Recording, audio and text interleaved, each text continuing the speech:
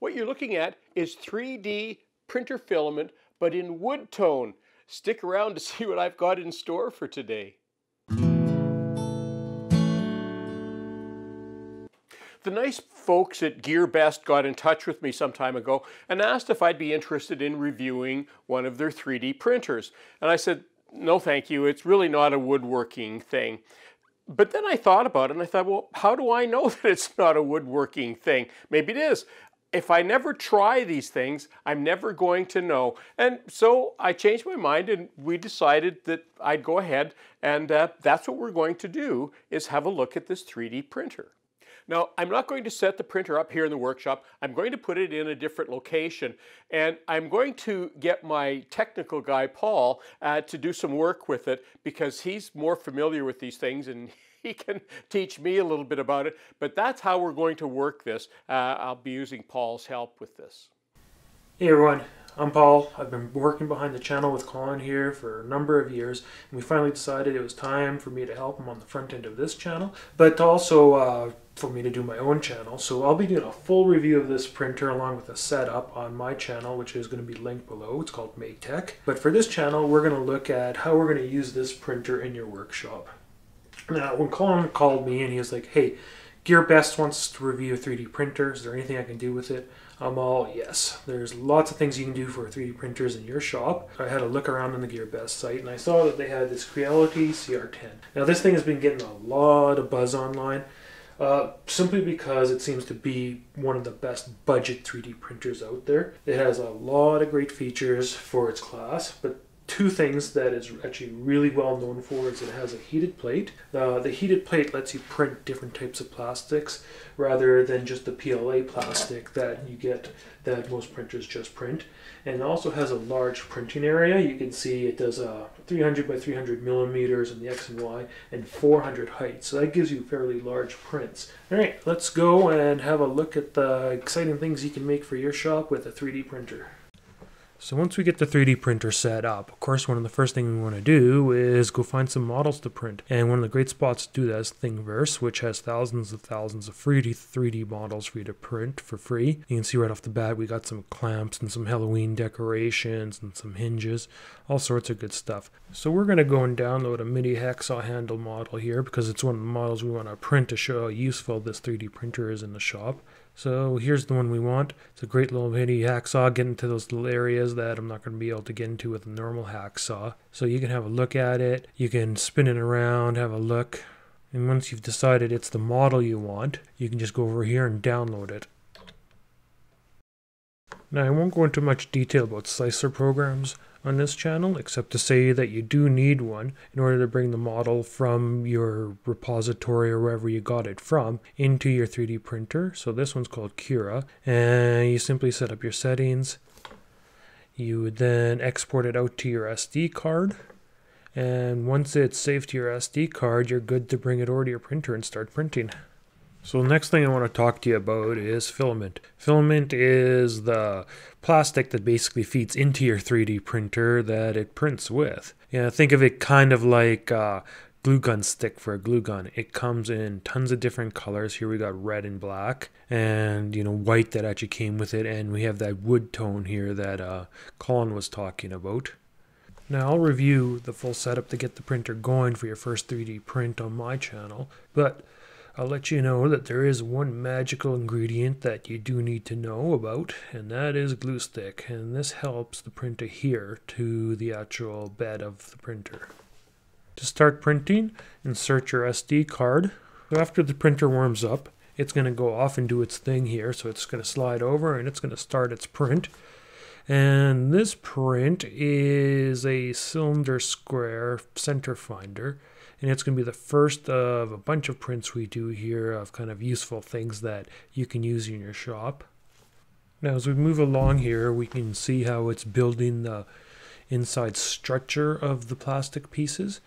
These things are usually not printed solid unless you tell them to. Obviously it saves time. So what it does is it puts in this honeycomb motion which helps uh, make the inside of these plastic pieces solid. Now we're off to print the outside walls here. Them too are also slightly hollow to save on print time and on plastic. So after about an hour here, our printer's finishing up and here we got our cylinder center finder. So the next item we're going to print here is a hacksaw handle. This is something I've actually uh, needed in my life here because I find a normal hacksaw is kind of sometimes hard to get into those out of the way places that you need to get into. So this holds a blade right down the center of it and should be perfect for my needs. So here you can see once again it's printing the center part which is all those hexes in there. That honeycomb type of pattern. And here we are now finished the hacksaw handle. Okay, this one's probably going to be a little hard to tell uh, from the start here, but it's actually a bit holder from my favorite drill, which is my Milwaukee M18. It actually screws right into the part where the belt clip normally goes in the drill. Something I felt the drill was missing was somewhere to keep your to keep your most frequently used drill bits, so I actually found this on Thingiverse, so I thought I'd hey print it. Now, if you're wondering how you get these things off the plate, you simply use a sharpened scraper and you wait for your plate to cool down and then you simply kind of try to jam it up under there and eventually just pops right off like that. Okay, so this one's an interesting one. It is a uh, drill bit sharpener that actually fits on your Dremel and lets you use the uh, abrasive wheels on your Dremel or other rotary tools to sharpen drill bits. So this should come in handy as I have a ton of dull drill drip or drill bits and like most people I tend to go out and buy new ones as opposed to just sharpening the ones I have.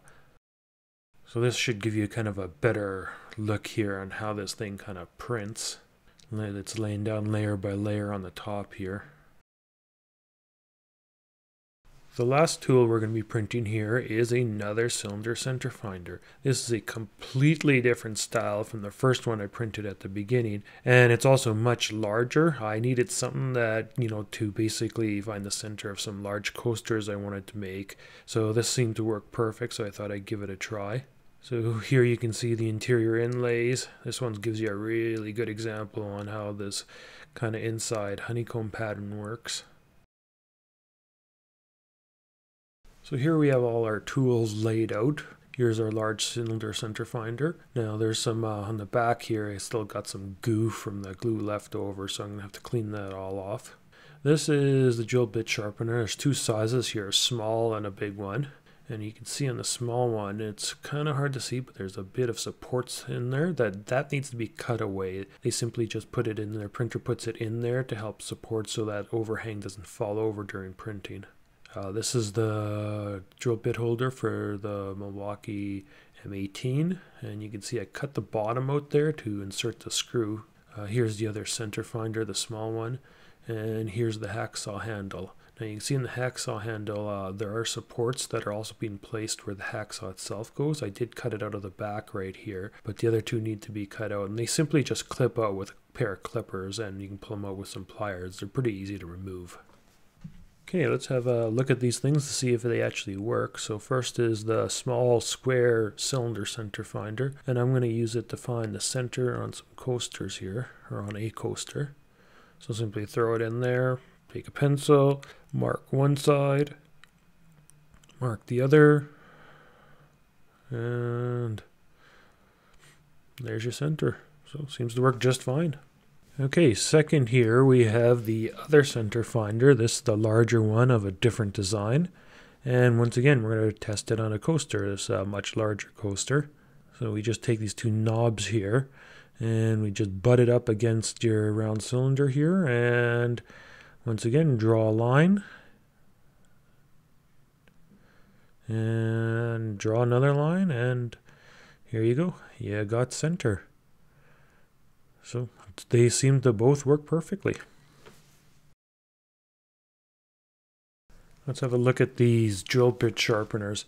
So here's two sizes here for different size drill bits. Now to put those on or to use them on your rotary tool, you simply unscrew this little collar thing here you screw one of them on. And here you're going to insert an abrasive wheel.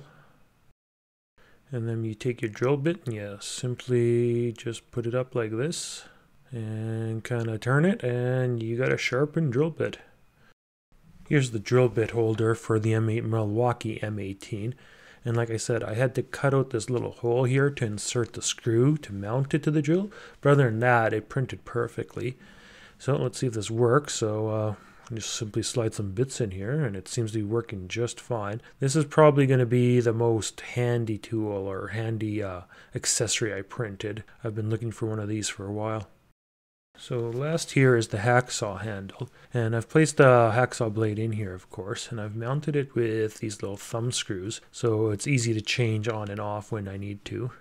Now, as you can see, this thing actually seems to work quite well. It's good for those little places you need to get into.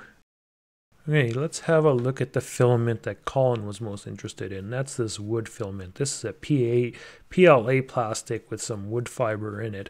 And here we're going to use it to print some wood spinning tops. Now these spinning tops are interested because they print in three pieces. So there's a top, bottom, and then a screw that holds them together. Next item we're going to print here is a wood bowl.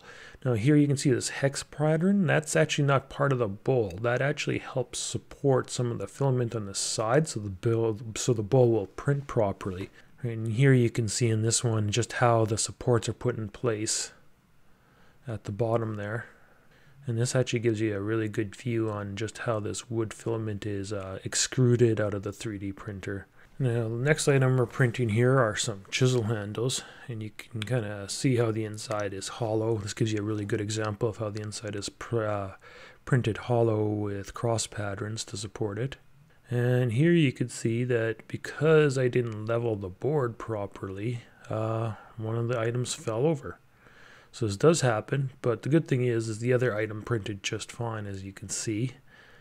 All these little stringies here are just going to have to be cut off after the fact. So here's the two compared side by side, the failed one and the good one.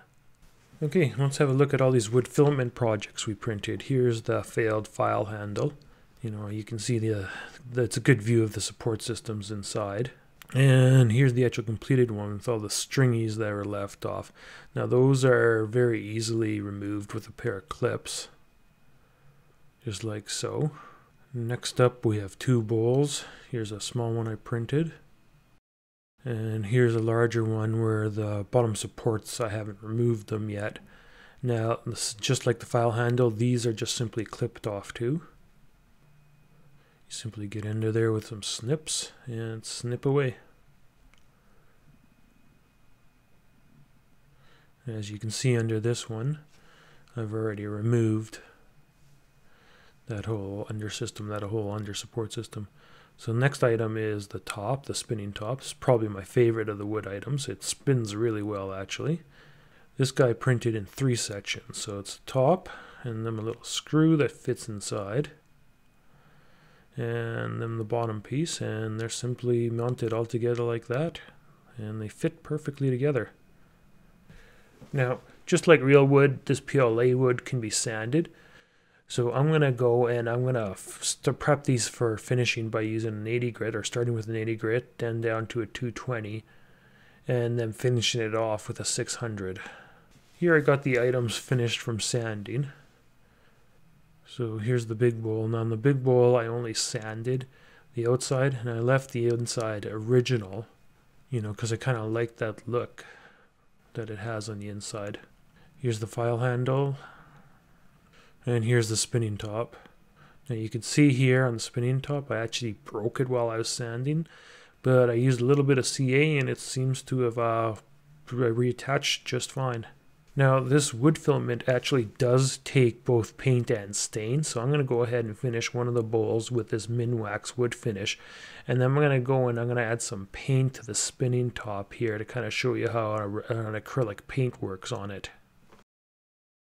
So here's the items back from staining and painting. Now with this big wood bowl, all I did was take some 1500 grit paper and I gave it a wet sand to kind of smooth down the front of it or the outside edges of it really good. It looks really nice. It almost looks like a balsa, feels like a balsa wood. And the inside I left as is printed. So on this small bowl here, I gave it one coat of the stain, let it dry, give it a light sanding, and then sprayed it with a light coat of shellac, which gives it the sheen. I really like the way this turns out. It kind of gives it an old used look. On the file here, I left it natural. I added just a little bit of red at the bottom, a red acrylic paint, just to make it easier to find, and it seems to work just great. On the top here, I added some blue and red paint, which uh, makes it stand out nicely. I really like this. I think it's going to make some, uh, or going to make for some good Christmas presents, so I'm going to print out a few more of them. Well, I hope you guys learned a little something about 3D printing and how it can be used in your shop. Like I said, I'm going to have a full review of this printer over on my channel if you want to go check it out. I quite enjoyed using it.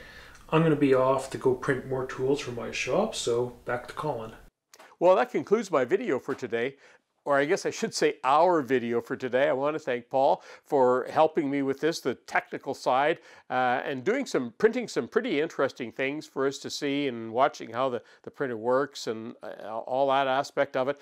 But you know, this really did open up a whole world of opportunities for me. I, I really had no idea the different kinds of things that you can do. We're going to be doing a lot more with this in the future as well.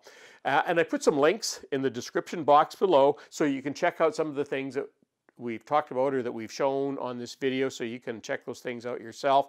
Uh, and also there's an article on Woodwork Web and it will also have the links as well there so you can uh, go and check out some of the, the detail there as well. So uh, pretty interesting, 3D printing in the workshop. Who would have guessed it? I'm Colin Knecht for Woodwork Web. Thanks for watching.